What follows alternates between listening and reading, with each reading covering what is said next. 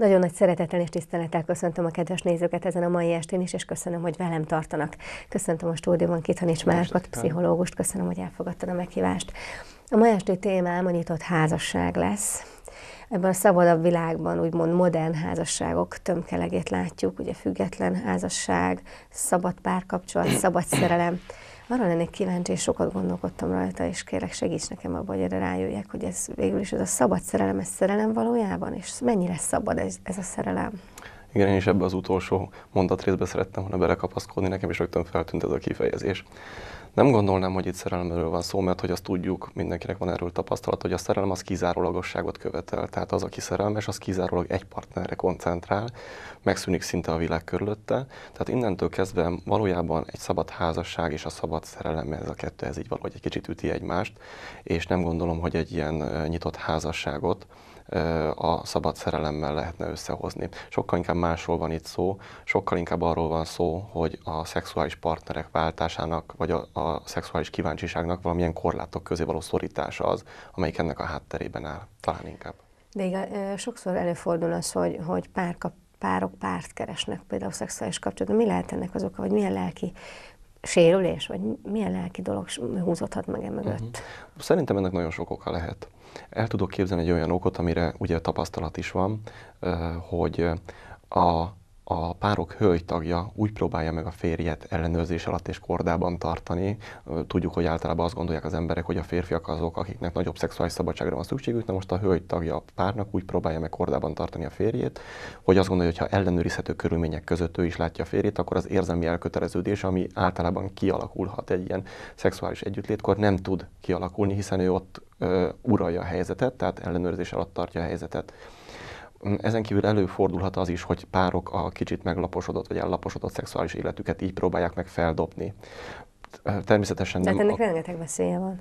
Természetesen, rengeteg veszélye És akkor van. ezt vállalják? Vagy inkább mögé bújtatnak valamit? Tehát azt mondjuk, hogy hát azért, azért nyissunk mások felé, hogy egy kicsit fel felújít, megújítsuk a kapcsolatunkat. Persze mi hűségesek maradunk egymáshoz. Lehet egyáltalán így hűségesnek maradni? Nem gondolom, hogy így lehet hűségesnek maradni. A hűség is kizárólagos. Tehát Ezt semmi mondom, más ilyen dolog nem fér ez, bele ez, természetesen. Ez kizárja. Igen. Tehát a hűséget azt abszolút kizárhatjuk ebben az esetben. Az pedig, hogy a szexuális életet mennyire lehet feldobni ezzel. Én azt gondolom, hogy minden párkapcsolatban egy idő után óhatatlan, hogy a szexualitás már nem olyan központhelyet foglal el, tehát ahogy telnek az évek, egyre kevésbé foglal el központhelyet a szexualitás, azonban annak, ennek is van egy normális határa. Tehát nem arról van szó, hogy hónapok óta nem élnek szexuális életet, hanem hogy ez a szexuális élet csökkent, egyrészt intenzitását tekintve, másrészt pedig a gyakoriságát tekintve. Igen, nem csak, hogy azzal, hogy megpróbáljuk ilyen formában feldobni a szexuális életünket, tulajdonképpen egy szabad partnerválasztás elé állítjuk a, a párunkat. Ezzel tulajdonképpen az érzelmi oldala sérülhet ennek az együttlétnek, illetve az intimitásnak, hiszen azt gondoljuk, hogy máshol keresi a társ az intimitást, óhatatlanul elválaszthatatlan, a, illetve óhatatlanul nem tudjuk elválasztani az intimitást a szexualitást. A kettő nagyon együtt jár, és mivel a szexualitásban mással találja meg az intimitást, ezért tulajdonképpen ez kivonódik a párkapcsolatban, ez a fajta intimitás. Ezt nagyon jó, hogy mondtad, mert igazából maga a szexualitás, ugye ez egy intim tudat, főleg a nőknél lelkileg, ez szerintem nagyon sokat dob. Ne, biztos, hogy a férfiaknál is, de én nem tudok róluk beszélni, csak magamról. Tehát általában a nők, nőknél nagyon fontos az érzelem. Na most többféle te, mint pszichológus feltetőleg elég sokat találkoztál, amikor vagy, vagy tudsz ilyen esetről, hogy párok, ismerős, baráti párokkal összejárnak, és úgy létesítenek együtt szexuális kapcsolatot. Viszont van olyan is, amikor ö, ö, ismeretlenül föl, fölhívnak valakit telefonon, ezen a pár, párkeresőn, és úgy jelentkeznek be. Én készültem egy ilyen bejátszással, több telefonszámot is megpróbáltam felhívni, ki voltak kapcsolva nagy, mm. nagy részt, kettőt sikerült elérnem, természetesen nem jelent, nem mutatkoztam be, hogy, hogy ki vagyok, és hogy miért, csak részletet fogunk a nézőknek megmutatni ebből a két telefonhívásból. Kérem kísérjék figyelemmel, és utána még visszatérünk erre a témára. Akkor lássuk a bejátszást.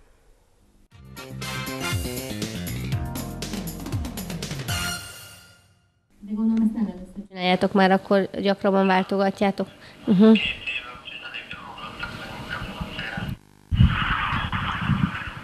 Ezért kell valamennyit fizetni? Persze, szolgáltatók vagyunk, igen. És ez mennyi? Milyen? Hát párként jönnél, vagy egyedül jönnél? Párként. Párként jöttek, akkor ez egy órás időtartom lesz 25 ezer forint. Fürdés, pesgő, beszélgetés, most ha túlfutunk, az egy órán az se probléma. Nem számoljuk annyira. És akkor ez párcserével van? Persze. Párcsere, biszegzó, férfi női részre, natur, francia, stb. Végül is minden az análon és a bizeron kívül. Uh-huh, uh-huh. De ti akkor, akkor egy házas pár vagytok, tehát nem gond, ez egy lelkileg Nem, mi házas pár vagyunk. Beszélgetünk, elintézzük a dolgunkat, amit szeretnétek, és mindenki megy meg haza maga útjára.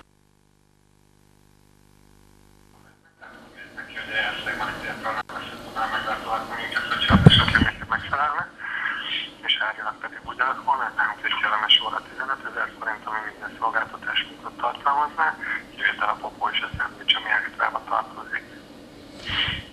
Ö, Mit jelent ez a, tehát ez, a, ez párcserét is jelent? Ez párcserét is jelent, igen. Önök egyébként egy házas pár? Ö, Egy pár vagyunk, az életben is egy párt alkotunk, így van. És akkor ez egy óra szexet jelent, vagy ez, ez nincs megszabva? Hát inkább egy, ugye, hogyha ketten jönnétek, akkor inkább egy ilyen másfél-két órás elfoglaltság.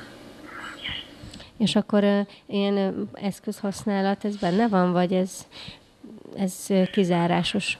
Az eszközhasználat, tehát vannak valami eszközök, amiket lehet használni, szexuális eszközök? Mondjuk ilyen vibrátoros játékok vannak, igen. Tehát ez megoldható.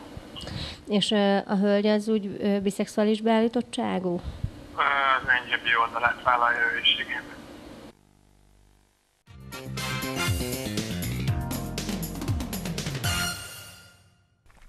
Legszívesebben megkérdeztem volna még egy-két dolgot, akkor nagyon kitűnt volna belőlem a szakma, a riporterkedés, hogy, vagy hát maga a riporter, hogy igazából hogy, hogy, hogy juthat el odáig egy pár, hogy, hogy, hogy pénzért, ne, mondjuk nem szabadna ledöbbennem ezen, mert az is döbbenet, hogy, hogy ők ezt ilyen nyilvánosan csinálják, csak az, hogy igazából prostitúcióvá nőtte ki magát ez az úgymond intim dolog. Igen, el is hangzott itt a telefonbeszélgetésben, hogy ez egy szolgáltatás, tehát ők abszolút szolgáltatás számba veszik ezt a dolgot, fizetünk érte, és egy óra után mindenki megy a maga dolgára, azt hiszem jól tudom, így pont így hangzott el. De én, hogyha meg, nem haragszol, meg visszautalnék még a bejátszás előtti mondatodra. Jöttél Bejátszás előtti mondatod ugye az volt, hogy a nőknél érzelmileg jobban, e- tehát a nők érzelmileg jobban elköteleződnek a férfiaknál, ez kevésbé van így.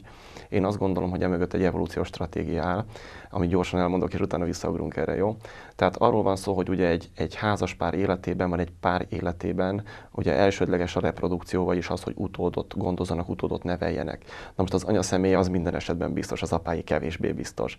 Éppen ezért azt szokták mondani, hogy a férfiak kevésbé tudják megbocsájtani azt, hogyha a párjuk, a nő szexuális kapcsolatot létesít egy másik férfivel, mert ebben az esetben rögtön bizonytalanná válik az általuk majd felnevelendő gyereknek a, a, mégis, hogy ki az apja, tehát hogy ki az, aki neveli, ki az, aki a saját génállományát oda mm, benne tovább örökíti. A nők esetében viszont inkább az er, érzelmi elköteleződést szokták említeni, hogy nem szeretik, hogyha a párjuk, tehát létesített szexuális kapcsolatot, ezt még meg lehet bocsátani, de hogyha érzelmileg elköteleződik, már nem. Azért, mert hogyha érzelmileg elköteleződik a férfi, akkor a gyereknevelésben nem vonható be, hiszen előbb-utóbb el fog menni. Az érzelmi elköteleződés ezt jelenti. Ezért van az tulajdonképpen, hogy a férfiak és a nők szexuális szokásait különbözőnek tartják. Én azt gondolom, hogy azért a kultúra és az idő ahogy telik, egyre inkább egymás felé közelíti ezt a kétfajta elvárást, tehát egy kicsit ez megváltozott. Most ugranék vissza arra, amit kérdeztél.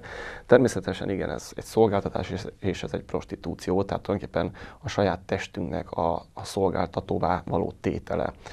Azonban az is nagyon érdekes, hogy a ugye a szolgáltatás arra épül, amire van igény. Márpedig itt úgy tűnik, hogy van erre igény, különben ezek a szolgáltatók nem tudnának élni, nem tudnának meglenni. Igen, de bocs, hogy belevágok, de, de igazából az döbbent le, hogy, hogy, hogy házaspár egy ismeretlen házaspárhoz megy el. Tehát mi viszi oda egy házaspárt, hogy, hogy annyira ö, olyan szintre eljussanak, hogy teljesen mindegy már a lelki, meg az érzelmi dolog, mert azért nem mondom, hogy megértem, de idézőjelben megértem azt, amikor mondjuk két baráti pár összejönnek, ott azért van egy, egy, egy érzelmi kötődés valamilyen szinten a négy ember között, de Hát, itt... de a prostitúció az természetesen egyben egy arctalanságot is jelent. Itt pont az arctalanság a lényeg. Azt, hogy utána nem kell elszámolnod, nem kell velük Jó, találkoznod. én ezt értem, csak azt nem értem, hogy nekik ebből mi lesz a jó. Tehát Most én voltam, aki felhívtam őket telefonon, mert mondjuk az én házasságom olyan szinten van, hogy úgy érzem, hogy csak ez az, ami kiláb, kivisz bennünket abból, uh-huh. hogy, hogy kicsit megújuljunk, stb.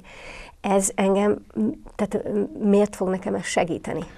Ez az arctalanság. Nem gondolom, hogy bárki is a házasságát mindenképpen így szeretné megreparálni. Inkább itt egy szexuális kielégületlenségről van szó, és itt a szexuális szolgáltatást vesz igénybe, nem pedig az érzelmi oldalát. Tehát azt látjuk, hogy nagyon sok esetben a házasságokat, akár az én pácienseim példájából is azt látom, hogy egészen fiatalon már, tehát 24-25 éves korban olyan férfiak keresnek meg, illetve olyan nők, akik a házasságon belül a szexusban nem találnak kielégülést. Nagyon minimális az a szexuális szexuális élet, amit élnek. A szexuális életnek mondtam az előbb, hogy se az intenzitása, se a, a, a gyakorisága nem olyan, mint amit elvárnának. Ilyen esetben felvetődhet a kérdés, hogy nem kell máshol megtalálni ezt a szexuális örömöt, amit ők ebben az esetben nélkülöznek. Tényleg ez egy nagyon gyakori probléma, és én azt gondolom, hogy a házasságok megromlásának a nagy százalékát a szexusban való különbözőség okozza, az eltérő igények, illetve az, hogy egymás igényeihez nem tudnak igazodni, és nem tudják ezt kielégíteni, vagy nem akarják. Direkt rákérdeztem arra, hogy, hogy a, hő, hő, a, tehát a szolgáltatónak, a hölgytagjának vannak-e leszbikus hajlamai. Tehát itt beszéltél arról, meg beszélgettünk arról, hogy a nők általában érzelmi módon közelítik meg a szexualitást. Jó, ők szolgáltatók, de akkor is vannak érzéseik. Na most a, a férfi elnézi azt, hogy az ő partnere, mint szolgáltató, egy másik nővel létesít szexuális kapcsolatot.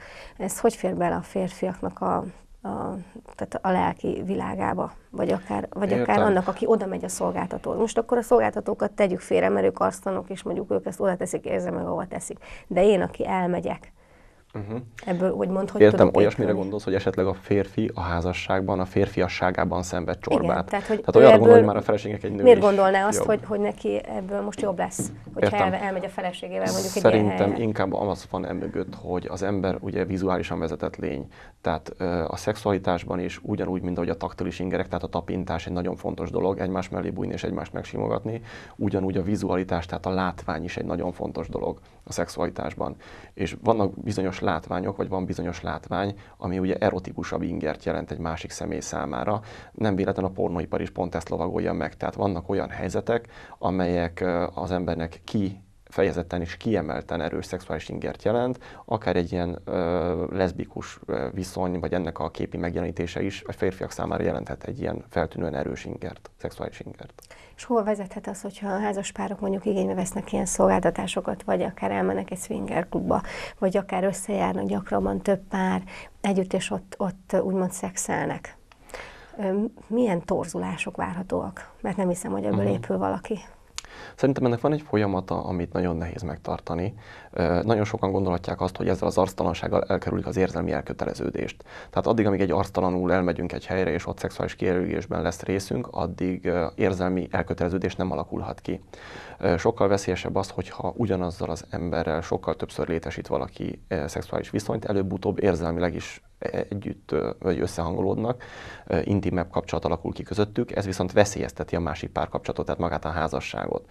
Ez egy veszélyeztető dolog, és ebben az esetben el tudjuk képzelni azt a folyamatot, amelyik oda vezethet, hogy a házasság felbomlik. A házasság felbomlása pedig több szempontból is rossz lehet a, a pároknak, egyrészt ugye egy társadalmi elégtelenség érzéssel járhat, tehát hogy nekem most így nem jött össze a házasság, én ebben sikertelen voltam. A másik ugye egy gazdasági egység felbomlása, ami nagyon erős. Tehát nagyon sokszor tapasztalom azt a saját pácienseim körében, hogy egy borzasztó rossz házasságban élnek, évek óta, tehát nagyon hosszú ideje, de egyszerűen nem tud eljönni a házasságból, mert olyan erős gazdasági egység az ház áll mögötte, vagyon áll mögötte, autó áll mögötte, mindenféle ö, együttes gazdasági befektetés áll mögötte, amit nagyon nehéz ö, szétszedni, tehát nagyon nehéz megbomlasztani. Inkább az ember azt választja, hogy ebbe a rossz házasságban kínódik, és esetleg kifelé nyit, és kint keresi az örömöket, de a gazdasági egységet nem akarja megbontani. Fölírtam magamnak egy olyan kérdést, ami igazából nagyon foglalkoztatott, az, hogy a nyitott, a nyitott házasság lehetne nem forma, hanem, hanem tartalom kérdése. Uh-huh. Hogy mit értünk tartalom alatt? Hát azt értem tartalom alatt, tehát hogy formailag az, hogy, hogy ugye gyakorlatilag megteszem azokat a lépéseket, hogy én megbeszéljük akár egymással, hogy te is mész jobbra, én megyek balra, de azért mi gazdaságilag összetartozunk, tehát uh-huh. együtt vagyunk. Ehelyett marad maga a tartalom, tehát hogy amikor nem találok mondjuk lelkileg egyfajta kielégülést a páromnál, akkor mondjuk barát, barátot keresek. Mondjuk e, sok, sokan mondják, hogy egészségtelenülnek férfi barátot keresni, férfinak nőt, mert az veszélyesé tud válni, de de maga az, hogy, hogy őszintén megbeszélni, hogy, hogy akár kibeszélem valamilyen szinten a házasságomban lévő problémákat egy adott személynek, ezáltal nyitom meg a házasságomat. Uh-huh és ezt a zárt kört Értem, fölbontom. Tehát nem, egy tehát nem gyakorlatilag viszem ki. van itt szó, hanem egy, egy intimitásról van szó. Én ez azt kérdezem szerint... tőled, hogy ennek, szerinted ennek, ennek lehetnek-e negatív következményei? Lehet Én ez gondolom, lehet nem gondolom ezt megoldásnak, hiszen én azt gondolom, hogy akkor jó egy párkapcsolat, hogyha az tökéletes társ az a személy. A tökéletes társ azt jelenti, hogy mind érzelmileg, mind a szexualitásban, tehát intimitásban, mindenben tökéletes társ, meg lehet osztani vele mindent. Egy ilyen helyzet fordítottja annak, amiről az előbb beszéltünk. Annak, hogy ugye azt beszéltük az előbb, hogy a szexualitás előbb-utóbb intim elköteleződést, és ezáltal egyfajta érzelmi ö, ö, társhoz való eljutást, tehát egy érzelmi kapcsolat kialakulását eredményezi, itt fordítva is ugyanez van. Tehát olyan erős lehet az érzelmi összetartozás érzés, az intimitás érzés, hogy ebből később egy szexualitás is kialakulhat. Tehát mind a két út, út ugyanoda vezet, és ez természetesen akkor az előző tartalomhoz jön hozzá, vagy az előző ö, tényezőhöz adódik hozzá. Van egy ilyen állatmese, hogy Végülis ez csak egy példa, a két, nem tudom, hallottad nem el a két sündisznóról, a sündisznó házaspár nagyon, nagyon ö, fázik éjszaka, és összebújnak, hogy melegedjenek. Igen, és végülis minél közelebb bújnak egymáshoz, melegítsék egymást, annál jobban ö, ö, szúrják egymást és ezért eltávolodnak egymástól, de nagyon kezdenek fázni, ezért újra összejönnek, és akkor újra elkezdik egymást szurkálni. Tehát, hogy összemelegednek, újra tüskékkel szurkálják egymást, mm. és aztán mégis ez megy egész éjszaka. Tehát, hogy ez, ez ennek megoldása lehet-e az, hogy, hogy, hogy elválik az ember, és inkább kilép és felvállalja azt, hogy nem?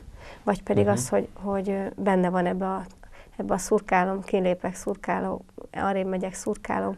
Tehát, hogy félre ne értsék a nézők, én nem a, vállást szeretném most itt filmélezni, csak azoknál az embereknél, akik már nyitott házasságban élnek, úgymond, tehát szexuálisan is kilépnek, lehet-e megoldás a vállás? Értem, tehát a kérdés tulajdonképpen a kapcsolatok bocs, ambivalenciájáról szól. Igen. Befejezvén azt, hogy azért, hogy a másikat erkölcsileg uh-huh. ne, ne tapossam a porba, és ne okozzak sérüléseket lelkileg. Ne én, csapjam be. Én azt gondolom, hogy ez így mindenképpen jó dolog. Mármint abból, tehát nem maga a vállás a jó dolog. Igen, igen, igen. Az, a jó dolog, az igen. a jó dolog ebben, hogyha úgy érzem, hogy egy egy, egy kapcsolat nem működik. Tehát, tehát azoknak, akik már ideig jutottak. Pontosan, semmilyen téren nem működik, akkor meg kell hoznom szerintem azt a nagyon nehéz döntést, ami a kapcsolatnak a szétbomlasztásával, vagy az a kapcsolat szétválásához vezet ez uh, ugyan, ugyanakkor ott van a remény. De ugye, hogyha jól bocs, mert úgyis szét fog válni, nem? Uh, tehát, pontosan, hogyha... tehát semmi más nem tartja össze, tulajdonképpen minden gazdasági egység, nagyon sokszor a gyerekre való hivatkozás. Én azt úgy emlékszem, hogy egy korábbi műsorban beszéltünk már arról, hogy a gyereknek semmiképpen sem jó az, hogyha azt látja, hogy a szülők egymástól elhidegülten mindenki a saját útját járva él. A gazdasági egység megint csak nem lehet egy, egy, egy kifogás, mert hogy a gazdasági egység újra felépíthető, tehát szétszedhető és újra felépíthető. Én azt gondolom, hogy nagyon sokszor emögött egyfajta renyhesség, vagy ilyen, ilyen félelem, lustaság, nem? félelem az újtól, ilyesmi is állat, igen, egy, egy formában. Másrészt pedig, hogy a, a vállásoknak, illetve a házas társak szétmenésének egyfajta társadalmi elítélése, ez most egy kicsit magyartalan volt a kifejezés, de azt, hogy nagyon sokszor elítélik őket, anélkül, hogy belelátnának abba, hogy bent a kapcsolatban konkrétan mi zajlott. De mondjuk Tehát, azért ma már divat válni. Hát nem gondolom, hogy ez divat. Én nem úgy Tehát gondolom, hogy divat, inkább úgy gondolom, inkább úgy gondolom, hogy azáltal, hogy sokkal több inger ér minket a külvilágból, tehát sokkal nyitottabbak leszünk, ezért mindenki jobban felmeri vállalni a saját döntéseit. És azzal, hogy valaki egy ilyen döntést felvállal, esetleg az ismerőseinek adhat egy olyan fajta impulzust, amivel azt látják, hogy hát igen, ő is megmerte lépni, akkor talán én is megléphetem. Azért a sündisznós mesében én láttam még valamit, ami talán így valahogy benne van ebbe, hogy ugye távolodnak, közelednek, távolodnak, közelednek, tehát a kapcsolat ambivalenciája pályáról Próbálnak van szó. azért melegedni, Pontosan. Tehát azt gondolom, hogy minden esetben küzdeni kell azért, hogy egy, egy párkapcsolat megmaradjon, akár egy párterápiával, bármiféle módon küzdeni kell ezért, de vannak olyan jelek, illetve vannak olyan, olyan helyzetek, amelyekben nem lehet ebben tovább lépni. Érdemes megpróbálni segítséget kérni, tehát szakember segítségét kérni, de nagyon sokszor van olyan helyzet, amikor a szakember azt mondja, hogy igen, úgy látja ő már, hogy ebben a párkapcsolati problémában, vagy ebben a krízis helyzetben már nem nagyon lehet segíteni. Igen, mert végül is arra szerettem volna kiukadni az előbb is, hogy, hogy, hogy ez, hogyha már valaki megteszi azt, amit én most megtettem illusztrációként, hogy felhívtam telefonon, és, és szerettem volna nyitni, és pénzért megyek el, és szexelek másokkal a férjem uh-huh. jelenlétében, és, és, és netán párcsere is történik. Tehát én azt gondolom, hogy ez már egy lejtő, amin elindul az ember, és ahogy beszélgettük, feltehetőleg ennek vállás lesz a vége. Egyébként is. Viszont, hogyha vállás lesz a vége, akkor abból a vállásból már két valami szinte lejtő lévő vagy sérült ember kerül ki, aki ez, ebből a, az indulatból, meg ebből az állapotból akar új kapcsolatot kialakítani. Pontosan gondoljunk egy dologra. Egy ilyen e, szexuális együttlét alkalmával előfordulhat, hogy a, a pár hölgytagja jobban erőlteti az újabb együttlétet, ez a férfinek egy narcisztikus sérülés abból a formából, hogy ő le, mi a Ez annyit jelent, annyit jelent, hogy én a férfiasságokban meg, és az énemben megsérülök. Tehát, mert ez azt jelenti, hogy az én párom egy másik férfi karjaiban nagyobb örömre lelt, mint az én karjaimban. Ez azt jelenti, hogy én elégtelenebbül működök, mint egy másik férfi, tehát egy társas összehasonlítás, ahol én vesztesként kerültem ki. Innentől kezdve ez egy tüskeként bennem marad, hogy az én feleségem, párom, akárkim miért ö, talált nagyobb örömet egy másik férfi karjaiban, mint az enyémben, miért működök én elégtelenül. Ha ez ilyen narcisztikus sérülésként, ahogy az előbb mondtam, bennem marad, akkor ez az én személyiségemben egy ilyen örök problémaként megmaradhat. Ha ez többször ö, előfordul, akkor ugye olyan narcisztikus sérülést okoz, ami már egyedül nem fog tudni megoldani, tehát mindenképpen szakember segítségére lesz szükségem. De természetesen ez fordítva is van, tehát hogy egy hölgy esetében, hogy az ő férje egy másik nő karjaiban miért talál nagyobb örömet. Tehát akkor, mivel a műsoridőnk végéhez közeledünk, vagyis már igazából majd, hogy nem lejárt, azért szeretném, hogy az egésznek úgy a konklúziót leszűrnénk, hogy azért valamilyen szinten csak van megoldás, hogy ezt az egész lavinát, ami úgy látom a világban elindult, ez a, ez, a, ez a lendületben vagyok, és, és ez az önmegvalósítás mindent felborít, azért mhm. ezt valahogy talán meg lehetne állítani.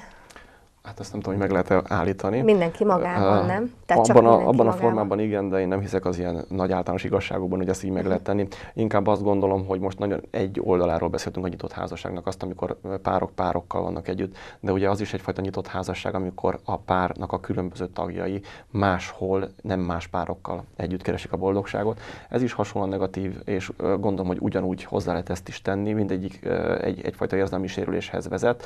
Én általánosságban azt tudom gondolni, hogy még most is a nyitott házasságok hátterében leginkább a, a vállástól és a párkapcsolat felbomlásától való félelem áll elsősorban. Nagyon nehéz lépés egy ilyet meglépni, nagyon sok ö, ö, társadalmi elvárásnak áll az a, a középpontjában, hogy a család mint egység megbonthatatlan legyen, és nagyon sok normát felrúg az, aki egy ilyen házasságból kilép. Természetesen elítéli a társadalom egy része. Annak ellenére, hogy a társadalom pont az a része, a társadalomnak pont az a része tudja elítélni, akik esetleg egy nyitott házasságban élnek. Éppen ezért azt gondolom, hogy nyitott házasság ez tulajdonképpen egyfajta szerepjáték, ami arról szól, hogy a házas pár szerepét eljátszuk, ugyanakkor mindenki a saját életét éli. Tehát igazából marad az őszinteség. Milyen formában? Egymás felé a korrektség, nem? Tehát Én azt gondolom, hogy igen. Szerintem hogy... sokkal jobb egy házaspárnak, hogyha így tudnak lépni, és nem pedig egymást sértik folyamatosan. Miközben, ahogy beszéltünk erről a végén, nagyjából mégiscsak ugyanaz lesz. Így van. Hát akkor legyen ez az árszó. Köszönöm, hogy ma este is velem tartottak, sajnos csak ennyi félt a műsoridőben, két hét múlva ismét találkozunk a viszontlátásra.